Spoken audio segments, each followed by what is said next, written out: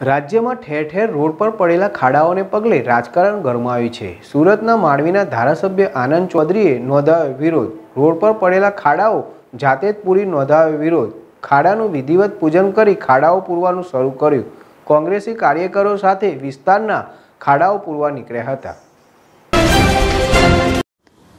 રાજ્યમાં ઠેર ઠેર પડેલ ખાડાઓને પગલે ઠેર ઠેર સંગઠનો રાજકીય પાર્ટીઓ દ્વારા વિવિધ રીતે ખાડાઓને પગલે વિરોધ પ્રદર્શન યોજાઈ રહ્યા છે. અનેક રીતે વિરોધ પ્રદર્શન કરી સરકારનું ધ્યાન ખેંચી રહ્યા છે અને સરકારને જગાડવાનો પ્રયત્ન કરી રહ્યા છે. લોકો શારીરિક અને આર્થિક નુકસાન વેઠી રહ્યા છે, જેને લઈ લોકો ટોબા પોકારી ઉઠ્યા છે. એક તરફ વરસાદી પાણી ખાડાઓમાં ભરાવાના કારણે લોકો છે તે પટકાઈ રહ્યા છે અને પારાવાર હાલાકી ભોગવી રહ્યા છે. જો કે આ જ વાતને લઈ વિવિધ વિવિધ સંગઠનો કોંગ્રેસ પાર્ટી હવે મેદાને ઉતરી છે અને વિવિધ કાર્યક્રમો આપી રહી છે.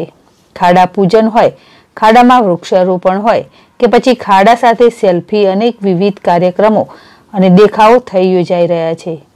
ત્યાં આજે સુરત જિલ્લાના માંડવીના ધારાસભ્ય આનંદ ચૌધરી આજે જાતે જ રોડ પર પડેલ ખાડાઓ પૂરવા નીકળ્યા હતા. હાથમાં પાવડો અને તગાડું લઈ ધારાસભ્ય જાતે જ પોતાના કાર્યકરો સાથે પોતાના વિસ્તારમાં ખાડો પૂર્યા હતા. રોડ રસ્તાના કામમાં ભરપૂર ભ્રષ્ટાચાર થાય તેમ આરોપ લગાવ્યા હતા. સરકારને આડે હાથ લીધી હતી. ધર્મેશ પટેલ, જેડેશ ટીવી, માંડવી. સરકારશ્રી અને અધિકારીઓ દ્વારા અને હવે તો કોન્ટ્રાક્ટરો બોલીને એમ કહે છે કે ત્રીસ ટકા સરકારમાં ને અધિકારીઓને આપવા પડે છે. એટલે રસ્તામાં ખૂબ મોટો વ્યાપક ભ્રષ્ટાચાર થાય છે.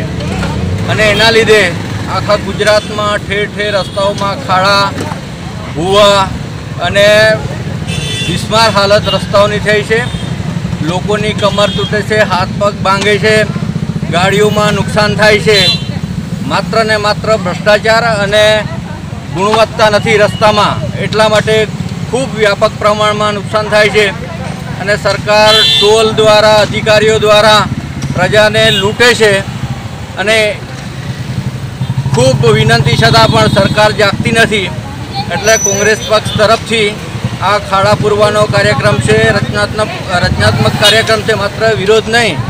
વૃક્ષારોપવું અને પ્રતિકાત્મક કરવા, પરંતુ અમે આ રચનાત્મક કાર્ય કરીને ખાડા પૂરવાનો કાર્યક્રમ કાર્યક્રમ રાખ્યો છે. લોકોને નુકસાન નહીં થાય. અને સરકાર અને તંત્ર ભર નિંદ્રામાંથી જાગે એના માટેનો આજે આ કાર્યક્રમ રાખ્યો